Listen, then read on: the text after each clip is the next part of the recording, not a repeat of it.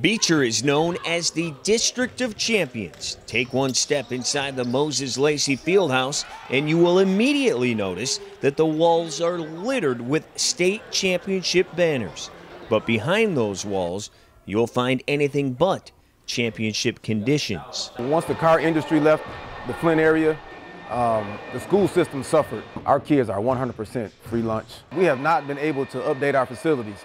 And I graduated from here in 1988. These, these are the same lockers, the same locker rooms that were here when I graduated. At one point, Beecher's debt grew so big, there was talk of shutting the district down, meaning there is no money to update the locker rooms, leaving unthinkable conditions for the student athletes and their property. Like with the lockers, you got rust at the bottom of it. I think that, that's, yeah, that's not pretty nasty, man. You don't yeah, want to put your stuff in there. That's not too healthy. And see, these ones, these ones don't have doors to even open them.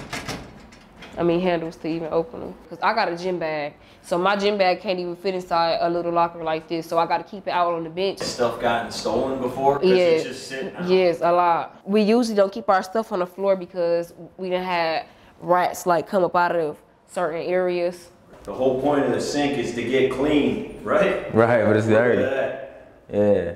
And like as you can see around the handles, it's green. I don't know what that's supposed to mean. It's like you didn't even have doors on these toilets. No, so they just did these like a couple, like a month ago.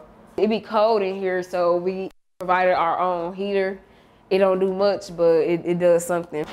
So there's like no heat no. in this locker room at all? Nope. And no working showers in the building. The shower is actually behind this board and it's boarded up our shower room. So we can't even shower. Yeah, like it's old, they don't even turn on, I think. See, like this one ain't got a handle.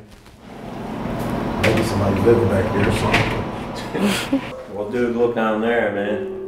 Once again, you're supposed to get clean in here. Right. Over 80% of Beecher students take part in athletics. For many, this facility is their safe space where they spend countless hours every day to keep off the streets. So to have a new locker room would almost be like getting a new home. It'd be like, you know how Christmas Day when you was a little kid, wake up, open up a present, you just, you just happy. You're just real happy about it. We try to sell the locker room and athletics and in the school as, look, this is yours. To teach them, hey, look, if you work hard, do the right things, this may be equivalent to, you know, striving to get a new house versus getting out of these apartments. We, we would cherish it. Uh, we're, we're a proud community, we, and we would definitely show it off to the world and uh, hope that you pick Beecher High School.